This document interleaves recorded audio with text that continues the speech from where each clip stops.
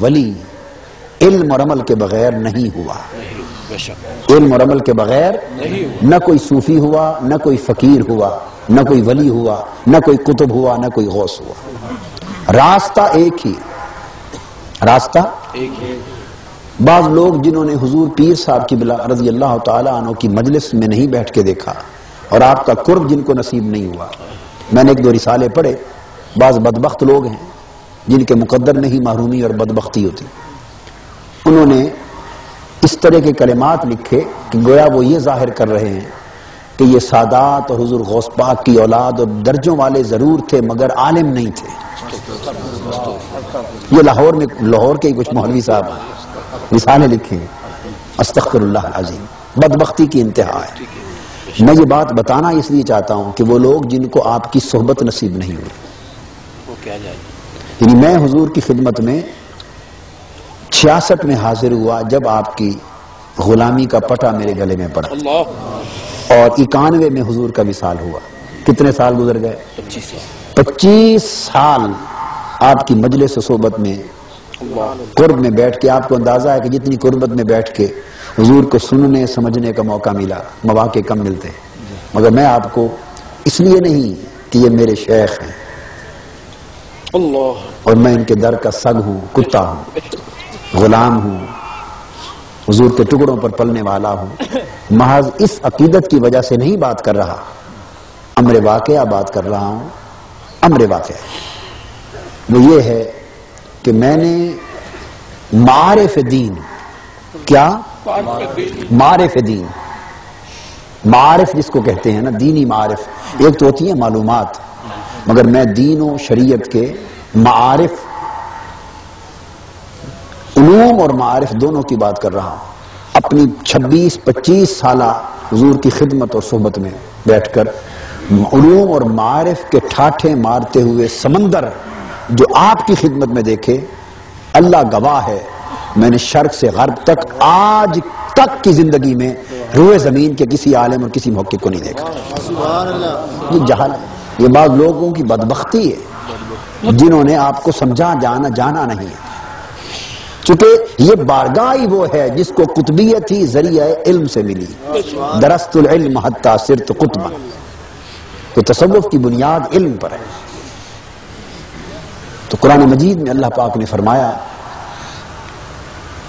कि इन्नमा यक्षल्लाह मिन इबादिहिल उलमा। कि अल्लाह से डरने वाले तो उलमा ही हैं। ये सिर्फ़ उलमा ही होते हैं जो अल्लाह से डरते हैं। तो मतलब ये हुआ कि उलमा की पहचान ही ये है जो अल्लाह से डरने वाले हों वो उलमा है। और जो अल्लाह से न डरने वाले हों वो किताबों की मालूम का अंबार भी सरों पे लादे फिरते हों। कुरान मजीद की ज़ुबान में वो उलमा नहीं। नहीं उनके पास किताबों का अंबार होगा। इल्म और फन के बेहिसाब बोझ होंगे।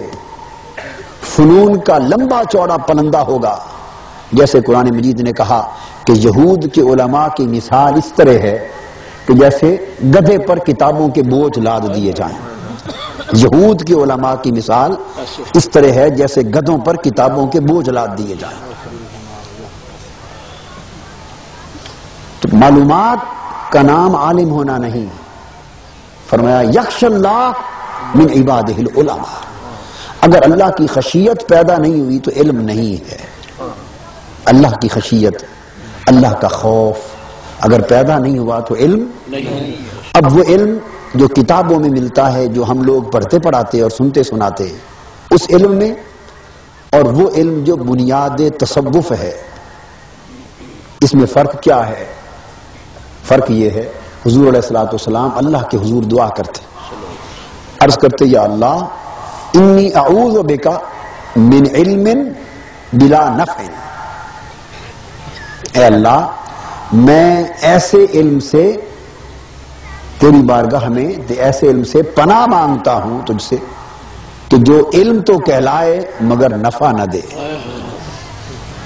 इल्म बिला नफा से, जो इल्म तो कहलाए मालूमात तो हो, जानना तो हो, मगर नफा ना हो।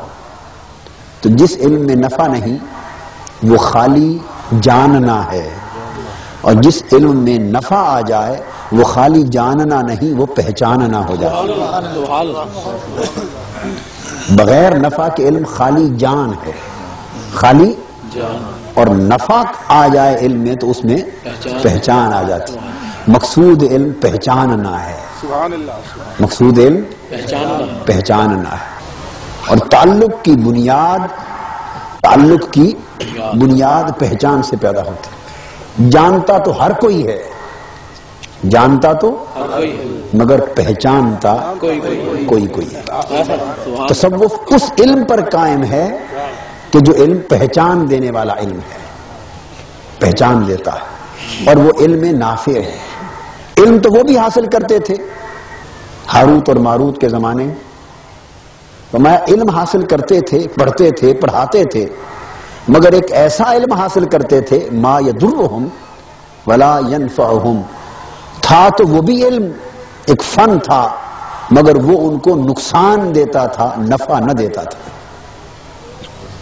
आप अंदाज़ा करें कुरान मजीद के बयान है। था इल्म, मगर नुकसान देता था।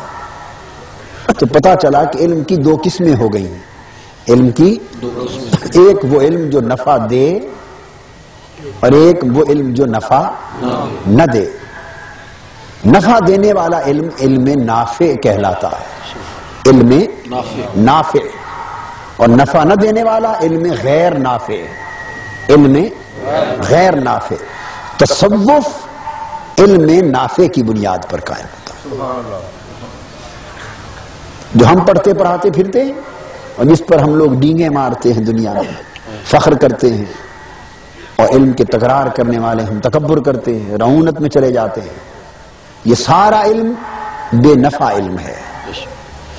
अगर वो नफा पहुँचाने वाला होता तो उससे तवाजु और इनकिसारी पैदा होती, उससे तकबर पैदा ना होता। अगर इल्म से नफा पहुँचता तो उससे अमल पैदा होता, बेअमली पैदा ना होती।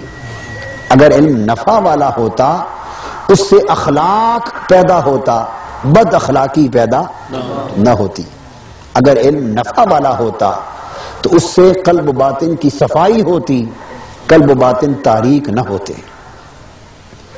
तो तसव्वुफ की बुनियाद जिस इल्म पर है, वो इल्म नाफे है। नफा पहुँचाने वाला इल्म। अब यहाँ एक बात जो समझाना चाहता हूँ, वो नफा पहुँचाने वाला इल्म और नफा न पहुँचाने वाला इल्म वो क्या है? बस ये नुकता है आखिरी आज का। नफा पहुँचाने वाला इल्म और नफा न पहुँचाने वाला इल्म, इन दो में फ़र्क किस तरह किया जाए? इन दो में फ़र्क किस तरह किया जाए? आसान तरीके से बात समझाता हूँ। एक है ये जानना कि अल्लाह है। ये जानना कि मरना है, आखरत है। हम में से कोई शख्स ऐसा बैठा है जिसको ये इल्म ना हो। अल्लाह के होने का। और ये कि मौत हक है, आखरत आने वाली है। कोई ऐसा है जिसको इसका इल्म ना हो। इल्म तो सबको है। अल्लाह के होने का भी इल्म, मौत के हक होने और आखरत का भी इल्म। मगर क्या है? एक इल्म होता है, फकत आप एक चीज़ को जानते हैं, मगर उसका इस्तेजार नहीं होता। जानते हैं, मगर हर वक्त वो दिलो दिमाग में मौजूद नहीं होता। अब इसकी मिसाल यूँ समझें कि आपने एक शख्स को देखा, एक शख्स को जाना, अरसा गुजर गया, उसके साथ हर वक्त मेल मिलाप और लेन देन नहीं है, शक्ल भूल गई। जानते हैं कि इस नाम का एक आदमी है इस शक्ल का एक आदमी, मगर जहन से उतर गया। अचानक वो आपके सामने आ गए। उसने कहा आप मुझे जानते हैं? आप सोच में पड़ गए। भाई देखा तो था आपको कहीं। बस उसने थोड़ा सा इशारा किया बिना फहा वो वो इतने इशारे से आपको जानते तो पहले भी थे मगर अब सारी बात याद आ गई। अब सारी बात याद आ गया तो एक था इल्म जानना और जानना मगर भूले हुए रहना।